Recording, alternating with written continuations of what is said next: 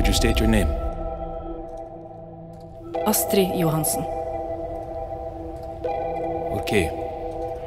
First question. Did you kill your son?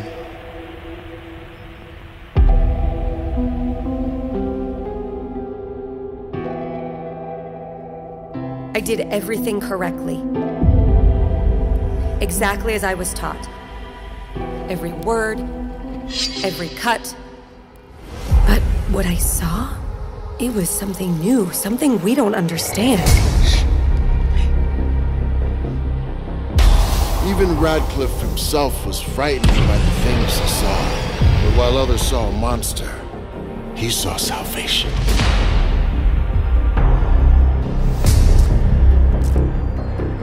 And I think it's safe to say, most in this town would celebrate one less Johansen.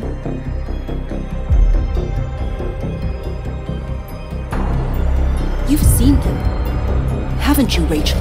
Visions. Harbingers.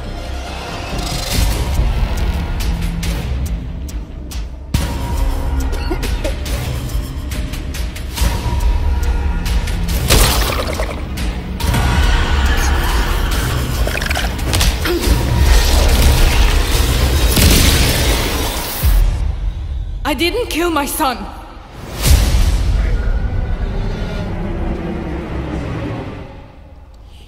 Have that in you. But what if I do?